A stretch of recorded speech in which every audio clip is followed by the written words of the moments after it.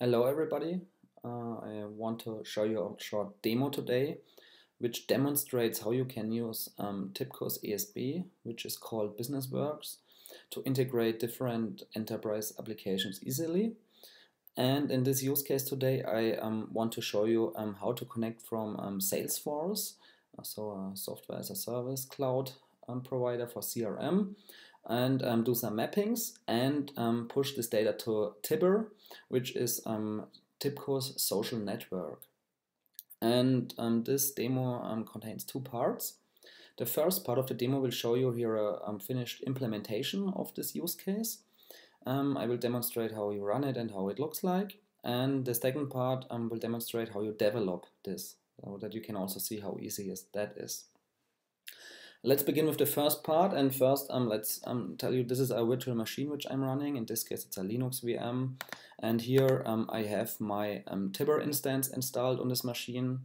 I have my web browser where um, we go to Salesforce and also to our Tibbr instance so we can just um, put some data here if you as you see and of course we have our development environment from BusinessWorks which I use for implement this integration. So um, as I said first, I want to show you this demo here, which already um, is implemented and runs. We don't have to deploy anything uh, anywhere outside on a server. We just click on the tester and say um, run this process here. So um, let's do and start this current process here. And we see um, that it is running now. Um, this is put in a slow mode so that you can see how it is processing it. Of course, in real time, usually it runs much faster. And um, what this use case is doing here, this process, it gets um, contact data from Salesforce. And um, all you have to do here is to enter your Salesforce query. So Salesforce um, offers a SQL similar um, query language called Salesforce Object Query Language. And you just have to add um, this query to this component here and then the query is run. And then we do some mappings and finally we um, post all this information to Tibbr. And um, so um, to show you that it really worked, um, I will go to the web browser and um, let's do a refresh here on our Tibbr web application.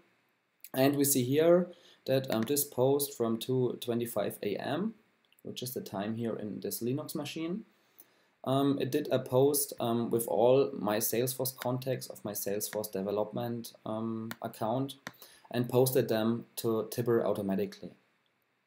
So here you can see that this really worked. It um, received my contacts from Salesforce due to this query here. I did some mapping to aggregate this stuff. I also saved it to a log file um, on my local system here. And then I used the Tibbr component to post this stuff um, to Tibbr. So um, um, this is how um, the job is really running the process. Um, but of course, um, probably it's um, the same interest for you how you can implement the stuff because that's really very important. Because with BusinessWorks it's very very easy to implement such integrations and doing automatic automatic stuff. And therefore you just have to use different components uh, in our palette, like the Tibbr components or um, the, uh, the Salesforce components. And um, when you have um, these components, you drag and drop into your workspace. And here you just configure these different components and do some mappings and so on. And um, that's it. Then you can run it and test it and debug it. And um, you, before you don't believe me, I really want to show you how easy it is to create such a process. So um, let's begin here by creating a new process definition. And let's say um, this is our Salesforce demo process. Apply and save. And now let's implement this process here. Um, what I need here is uh, three different components. I will use the Salesforce query component to, to get my data out of um, Salesforce. Then um, you can always drag and drop it from the palette here or just right click and say add resource. I will also add a write to log component to do some logging. And I will do some um, mapping here with our mapper component. So um, we have all the components we need. Now next we connect these components. So remember here, this is a very simple use case. I do not do any error handling or conditioning and routing and so on. Um, you can do all of that graphically here too. You can use sub-processors and much other stuff, so it's very easy to do all that complex stuff in real-world use cases. So I have now um, added all my components and um, connected them. And now we just have to configure them one after the other. And let's begin with the Salesforce component. Here you can see um, we need um, a Salesforce connection, right? So to connect our data. And what I've already um, done before, I have created um, some um, shared resources. So here you can see I connect to SAP and to Twitter and Tibbr and Salesforce. And here we see um, the Salesforce connection. I have configured it to use my uh, development account of Salesforce. And as you can see, it works here.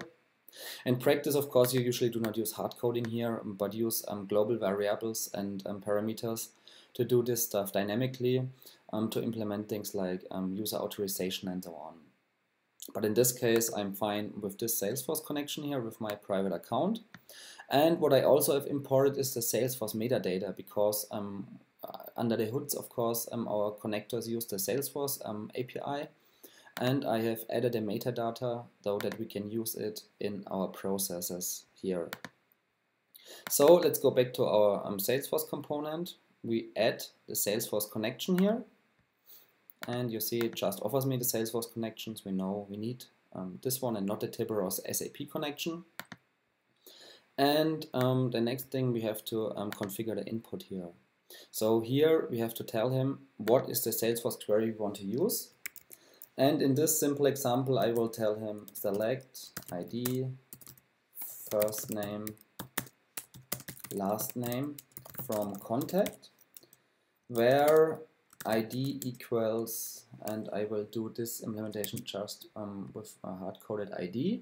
From my Salesforce account here you can see this is um, the contact Kai Waehner, and I will use this ID Again, in practice, of course, you use um, variables here, but for this um, simple demo, it's fine to hard code it here, I think. So um, now I'm done with this component here, and let's uh, move over to the map component. In the map component, um, we first have to tell um, the component what should be the, the input which we push as output to the next components. So it's always the same you have input from one component to the next ones and you have to configure the input to map it to get some output out of this component. And that's the important thing here. Um, it doesn't matter what technologies you use like JMS or HTTP or what um, enterprise applications you use like Salesforce or SAP. Um, it doesn't matter, it's always the same concept. So these mappings here and so on, it looks always the same stuff, no matter what you have to integrate. And um, that makes it so easy to implement all that stuff here. That's really important to understand. Here um, I um, do not use um, some schemas like an um, web service SOAP response or another XML schema. I'm just creating a very simple um, schema here by myself. So again, this is just for demo purpose and not for real projects. But here I think it is fine. I use um, a person and this person contains two parameters, an ID and a um, full name. I um, explicitly use full name here because I also want to show you some transformation and how it is done um, because it's a typical use case. And um, in this case, um, the Salesforce component um, gets me the first name and the last name, but my output, in this case just a log, but it might be SAP or something else, um, requires me to add um, a full name. So I have to do some mapping here. So here you can see the output of this mapping is um, the person with the ID and full name. And now I can do the mapping here. So on the right side I see um, my result which I want to push to the next component. And um, to do this I do some graphical mapping here. And um, it is really just drag and drop. And here one problem with Salesforce is um, that we have to do a coercion here first um, to add the metadata of our Salesforce query. So um, let me first show you how to do it and then explain why we do it. So we click on coercion and we have to add um, the metadata from our Salesforce metadata and I have to tell him this is a contact, right? And here's also the reason why do we have to do this? Because with other um, components like JMS connector or SAP connector, where you call API uh, BAPIs or IDOCs or so, you don't need to do that. But with Salesforce, um, Salesforce API is using S objects. So every query always returns an, an very general S object, right? And so you have to tell him um, what type is this result of your query. This is no issue of TIBCO, but this is um, due to the um, conf uh, configuration and concepts of the Salesforce API. So um, we do this coercion here and apply and save. And now when we go back here, we see all the metadata from our contact. And now we can do this mapping. We just drag and drop the ID to this field. And for the full name, we also have to do a transformation. Um, so we can also open the mapping editor here, which is a little bit more comfortable.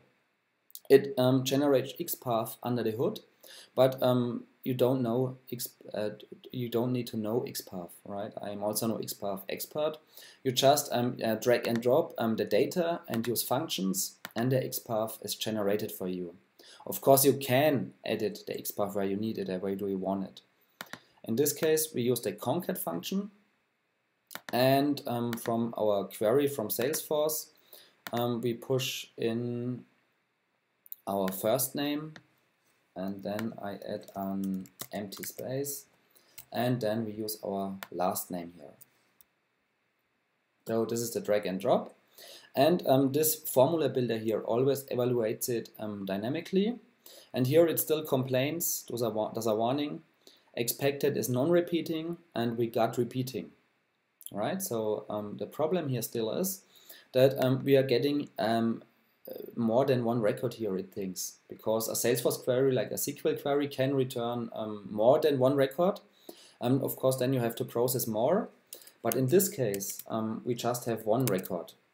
So um, I just got my parentheses, which I don't know under the Linux VM here. And here we just say, okay, this is just use one record here. Because we now we know our Salesforce query just returns one contact because we added the ID of it, the unique ID. And that's the reason why we can just add um, use the one here, the one record. And as you can see here, dynamically it evaluates correctly now. Other, the, the warning is gone. And it's even though intelligent that if we add zero here, for example, you can see XPath indexes are one based. So it helps you a lot um, while doing some mappings here, as you can see. Now um, it is done and you can finish here. And we have to do the same um, for our ID. So here we also have to say just use um, the first record because we only will get one here in this example. If you have a query where you get more than one record, just say a statement and in this case we would use a surround for each and um, that's it for them. So you still don't have to do any coding or so when you do more complex mappings, right? Okay, so now um, the mapping is also done. And um, we can go to our third component. The third one is the log component. And here um, you see just there's a message. And we will use our mapping data. Here you can see map data. That's the data from this mapping component. And here we have the output which we configured before. Here's our person. And this is our transformed full name. And we just drag and drop it here. And that's it. You can also evaluate here um, these mappings and check and it would show errors if there are some, but we are fine. So we can uh, save our project here. Now, um, once again, we want to test all that stuff because our implementation is done now. So we are loading um, only this new process and let's say load and start current I hope I didn't do any errors in my implementation. I didn't. As you can see, it all runs here perfectly. Um, we are done with our implementation. I just want to show you one more um, feature here. Besides the testing here, you of course can also do um, visual debugging. So just here, in this case, I use map data, right click, and say um, set breakpoint after this component. And you can see it here. And if I run a new instance of this process, it stops here at the moment. And I can debug and see my input here, um, in this case, is Kai Waehner. So you can see um, until here it worked correctly. Um, so you can do debugging here, and you can also change, uh, change stuff here. So if you use an, an, IDE for Java or .NET development, you can also do it in a debugger. And here it's the same. So we can just say this is a test name. And if we continue our debugging now, then it runs successfully. But um, it changed this um, variable here. So in the logging component, we can see here our input is test name. So as you can see here, um, debugging is also very, very um, easy here. Um, one last feature here regarding development I want to show you um, is that um, you can also use um, groups um, to combine different components. And here you can easily configure stuff besides iterations. So for example, you can define critical sections and transactions and so on. So it's very easy to implement more complex stuff. One uh, more thing finally is um, regarding the Salesforce components. Um, you, you, of course, um, you, in this case, which I implemented before, um, you had to, to start the BusinessWorks process which um, pulls Salesforce. Of course, you can also implement push implementation, um, which is done here. here I just use the Salesforce outbound message listener, and this one is um, waiting until Salesforce creates a message. And here in Salesforce, I have um, defined an outbound message um, which create, um, sends um, some message when a new contact is created. And then I get all this metadata here in this outbound message of Salesforce. Though this is not TIBCO, this is Salesforce. And then in TIBCO, um, I can just use all this information again. So here I also see all this metadata in this S object. So um, here I'm waiting for these specific output bound messages from Salesforce. And here again I can use email and first name and last name. And then I can map it again here, as you can see, right? So it's very easy. Um, also if you want to do push-based, not just pull-based um, mappings. And um, one last thing, as I have said, it doesn't matter what you want to use. Um, you can use Salesforce or SAP or any other technologies and enterprises. Um, you just do some different configuration. So for example, for the uh, SAP components, here, um, of course, you have to use things like um, fetch your idocs or RFCs and BAPIs. And then inside the mappings, it would look the same. Though then you don't use um, your Salesforce component, but use the SAP component. But the mappings are still the same. The only difference is here you would see um, not your Salesforce component, but here um, you would see um, SAP mapping component, right? Now that's also um, very important to understand. So in this um, around 20 minute demo, I showed you how easy it is um, to integrate different enterprise applications, such as Salesforce or SAP, doing some mappings and then pushing the data to another system. In this case, we used our um, social network Tibbr. So I hope um, this helped you. And now let's stop the recording. Goodbye.